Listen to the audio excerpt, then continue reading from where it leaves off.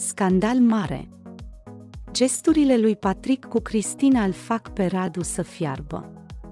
Cristina va izbucni. Ești prea subțire de nas. Doi concurenți din Casa Iubirii o vor face pe Cristina să plângă chiar de Ziua României. Concurenții din Casa Iubirii vor sărbători Ziua Internațională a României. Bucuria va fi foarte mare în rândul fetelor și al băieților, iar unii dintre ei vor veni și pregătiți.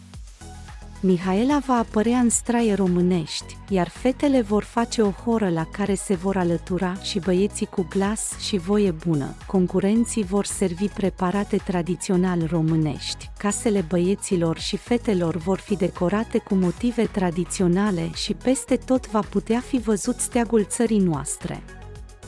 Patrico va pupa pe Cristina pe obraz, în timp ce Radu se va afla în spatele lor, roșu de furie, la mulți ani, românca mea frumoasă, va spune Patrick mai departe. Patrick îi va complimenta trandafirul din păr Cristinei, iar Radu va auzi tot și va avea o expresie dezamăgită pe chip ulterior îi va da la o parte pentru a putea umbla la un sertar lângă care stăteau cei doi. Doi concurenți din Casa Iubirii o vor face pe Cristina să plângă. Patrico va lua de umăr pe Cristina și se va uita în același timp la Radu să-i vadă reacția. După care îi va pune o întrebare în glumă, Radu, poți să ne aduci două portocalii, va spune, râzând, Patrick.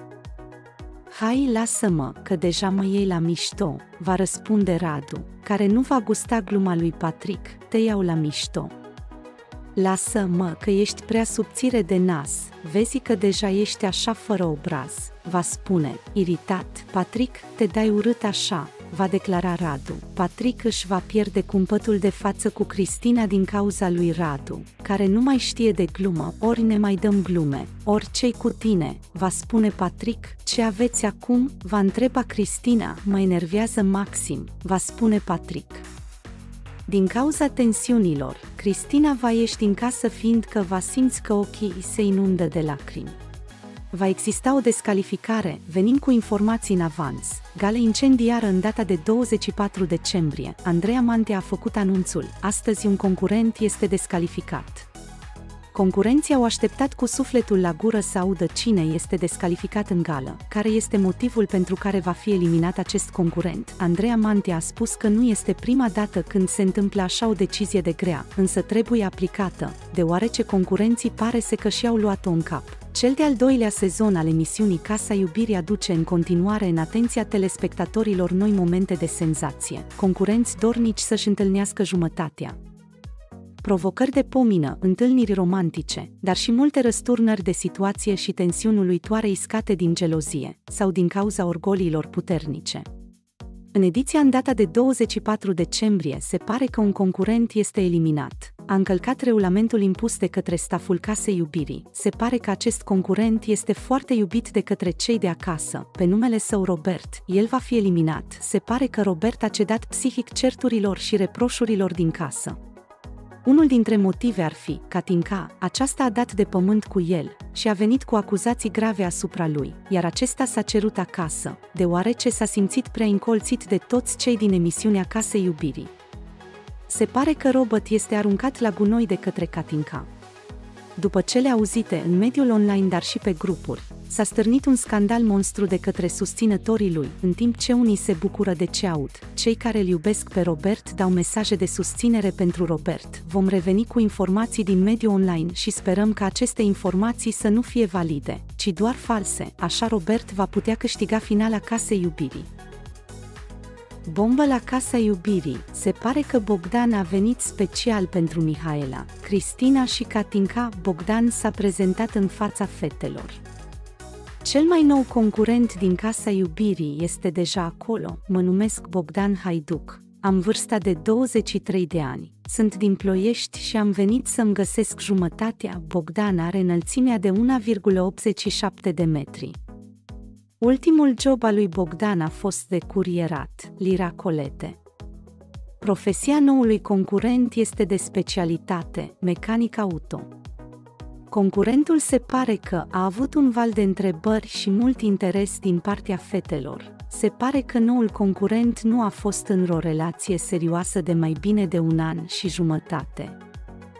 Însă acesta este gata să-și găsească o relație stabilă cu adevărat, ultima relație pe care a avut-o nu a funcționat din prea multe certuri și neînțelegeri între ei, dar și familiile lor. Bogdan este un băiat simplu, cu capul pe umeri și loial, dar și dedicat în o relație. Se pare că Bogdan a venit special pentru Mihaela, Cristina și Katinka. Rămâne de văzut până la urmă cu cine se va cupla acesta. Însă în gala din 10 decembrie se pare că vor exista eliminări surpriză. Adelin este eliminat, el nu mai are nicio lansă. În acest show, Deoarece nu a funcționat cunoașterea cu Mihaela, el va fi eliminat, pentru că nu se vede scopul lui acolo. În mediul online se vehiculează că Radu este prea cu nasul pe sus față de colegii săi și ar trebui tras de perciuni. Pot schimba banii un om, Radu face declarații bombă și a spus că așteaptă tot mai mult următorul sezon Casa Iubirii. Ba mai mult decât atât acesta ar atenta la scaunul prezentatoarei Andreea Mantea.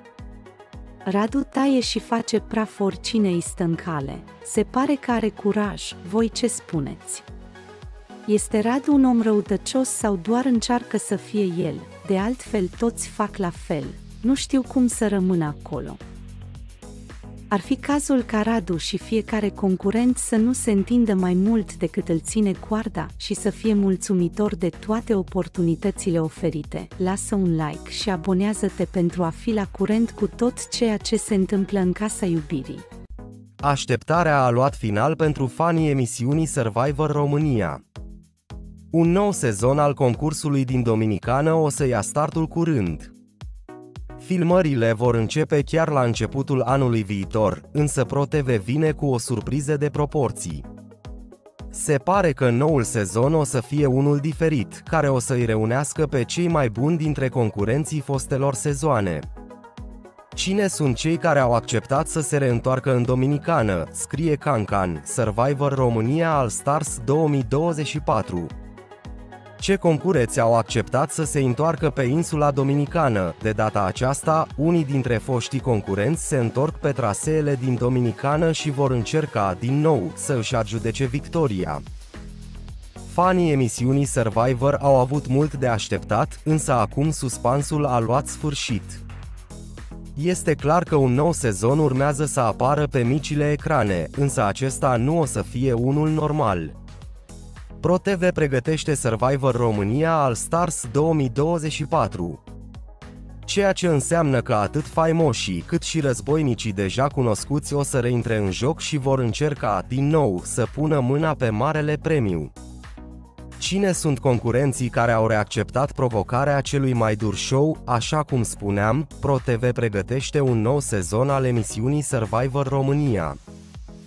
Se pare că premiera acestuia o să aibă loc la începutul anului viitor și se anunță multe surprize.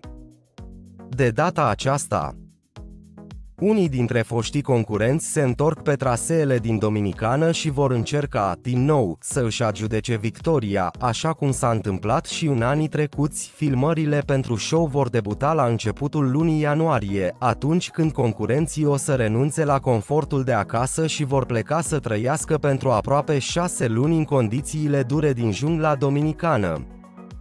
Însă, cum vorbim despre un sezon al Stars, de această dată concurenții nu o să fie surprinși de viața din junglă, căci au mai cunoscut-o și s-au descurcat destul de bine. Așa cum spuneam, ProTV pregătește un nou sezon al emisiunii Survivor România.